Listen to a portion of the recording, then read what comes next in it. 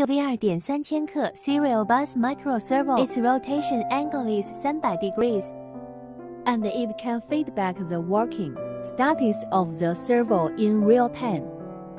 253 servos can be connected in series at one time.